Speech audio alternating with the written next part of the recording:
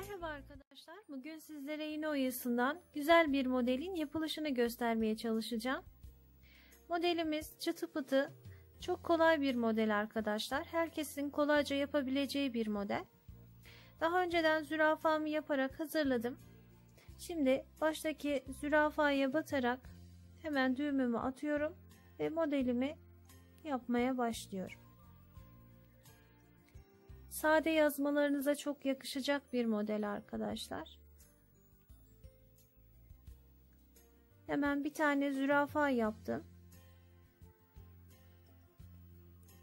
Yapmış olduğum zürafaya batarak geri dönüyorum.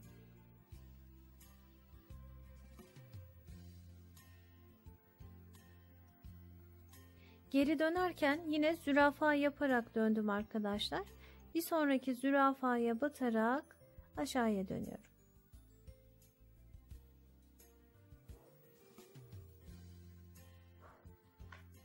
Bu şekilde fil dişi yaptım. Bu sırayı tüm fil dişi yaparak tamamlayacağım arkadaşlar. Yapılışı çok kolay. Bazı arkadaşlar geometrik yaz e, şekilli yazmalara e, çiçekli olmayan modellerden ne yapabiliriz diye soruyorlar arkadaşlar. E, bu tarz modelleri uygulayabilirsiniz arkadaşlar. Veya püskül oyası uygulayabilirsiniz. Şimdi zürafamı yaptım. Yapmış olduğum zürafaya batarak geri döndüm. Geri dönerken de yine zürafa yaparak döndüm arkadaşlar. Bir sonraki zürafaya batarak aşağıya dönüyorum.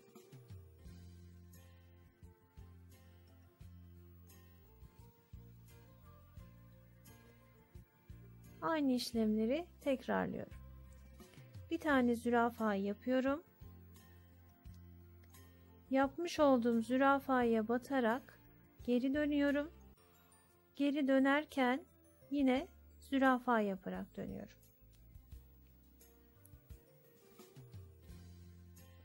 Bir sonraki zürafaya batarak aşağıya dönüyorum.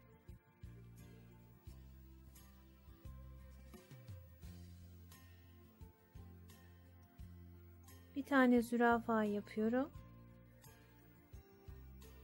Yapmış olduğum zürafaya batarak geri dönüyorum. Bir sonraki zürafaya batarak aşağıya döndüm.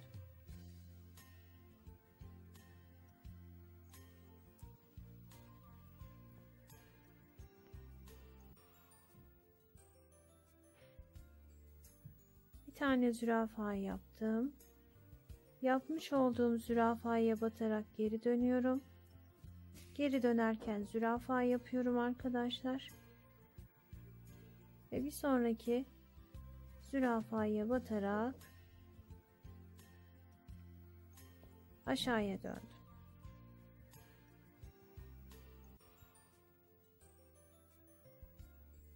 Bir tane daha yapalım. Bir tane zürafa yapıyorum. Yapmış olduğum zürafaya batarak geri dönüyorum. Geri dönerken zürafa yapıyorum. Ve bir sonraki zürafaya batarak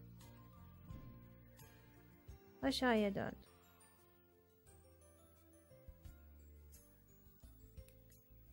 Bu şekilde bu sırayı tamamlayacağım arkadaşlar.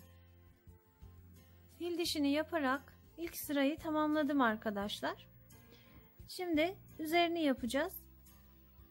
Hemen baştaki fil dişinin üzerindeki ipimin içine batıyorum.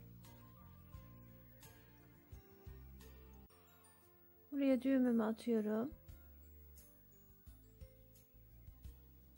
Buraya farklı renkler de uygulayabilirsiniz arkadaşlar. Rengarenk yapabilirsiniz. Zemini yeşil yapıp üzerine farklı renklerde de yapabilirsiniz. Ben burada sade yapacağım. Ama rengarenk de yapılabilir arkadaşlar. Tekrar aynı yere batarak buraya küçük bir pırpır yapıyorum.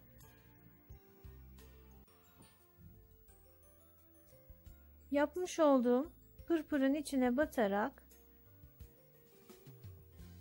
bu şekilde tepesine düğümümü attım ve ipimi biraz uzun bırakıyorum. Birazcık daha küçültebilirim. Bu şekilde arkadaşlar. Şimdi bir sonrakine batıyorum.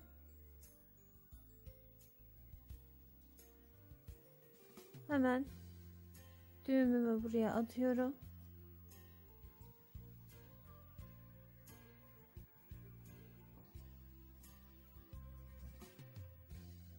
Tekrar aynı yere batarak buraya küçük bir pırpır yapıyorum.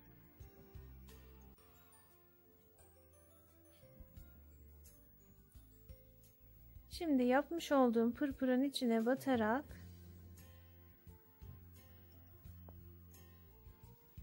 tekrar üzerine düğüm atıyorum ve ipimi burada kesiyorum.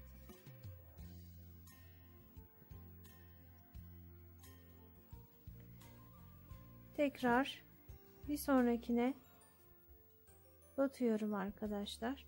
Sırasıyla bu şekilde yapacağım ama Dilerseniz ipinizi koparmadan devam edip daha sonrasında kesebilirsiniz. Şimdi düğümümü attım. Bir tane küçük pırpır yapıyorum.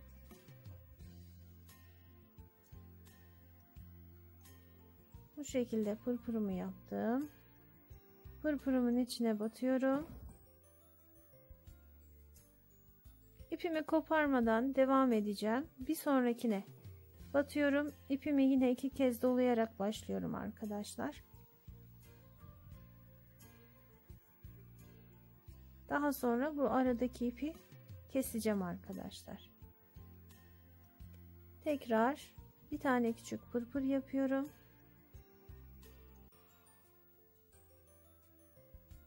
Pırpırımın içine batıyorum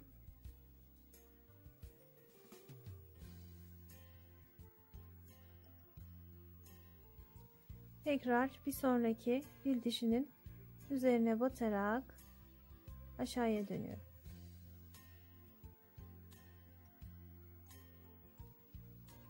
Dilerseniz bu şekilde devam edip bunun üzerine de bu şekilde en son sırayı bu şekilde yaparak da e, modeli uzatabilirsiniz arkadaşlar. Bu şekilde de olabilir. Tekrar küçük pırpır yapıyorum.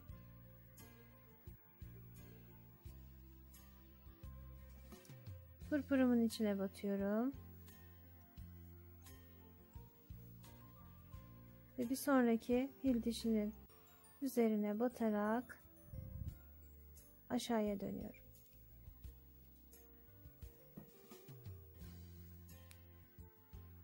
Ve aynı işlemi tekrarlıyorum. Bir tane pırpır yapıyorum. Küçük. Pırpırımın içine batarak yukarıya dönüyorum. Burada iplerimi keseyim arkadaşlar. Bu şekilde ipimi bırakıyorum. Hemen önce bu alt kısımlarını keseyim.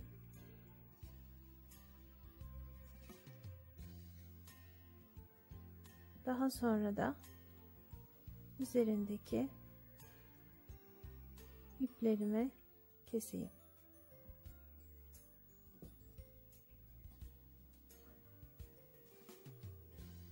Ütü yaptığınızda zaten düzgün olacaktır arkadaşlar. Veya ipinizi çekerek de kesebilirsiniz.